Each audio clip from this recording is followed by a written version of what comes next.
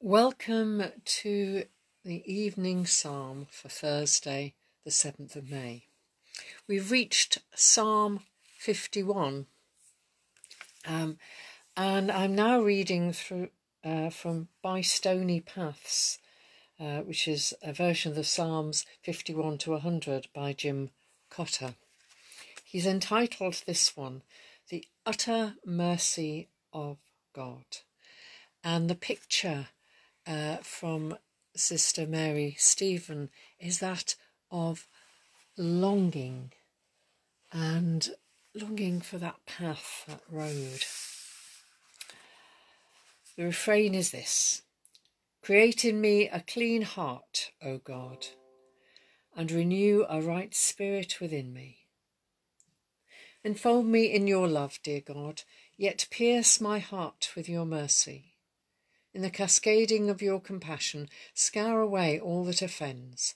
Wash me thoroughly from my wickedness and cleanse me from my sin. My failures weigh heavy on my heart. My sin confronts me at the turning of the road. Against you alone have I sinned, my beloved, doing what is evil and causing more harm.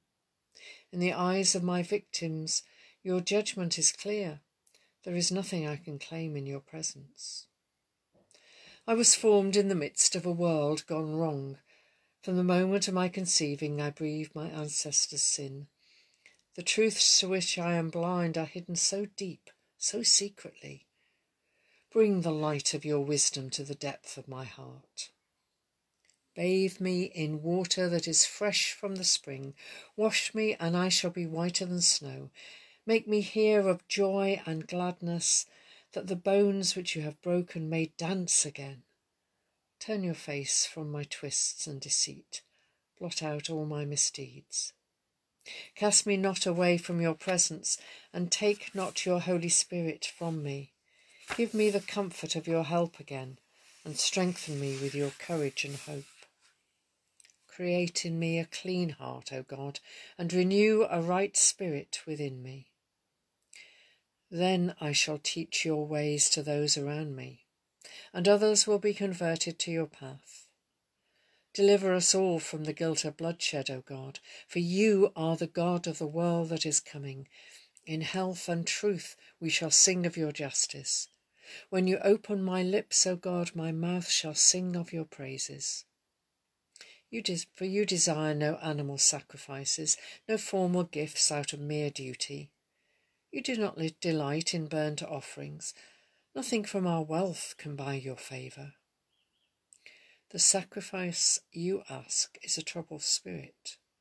It is my pride that must yield. My broken and contrite heart I bring, so foolish, self centred, and vain, and yet it is all that I have. Even this gift you will not despise, for I hear again that you yearn for me with a love that I can barely imagine. So do I give you the whole of myself, dependent as I am on the gift of your mercy.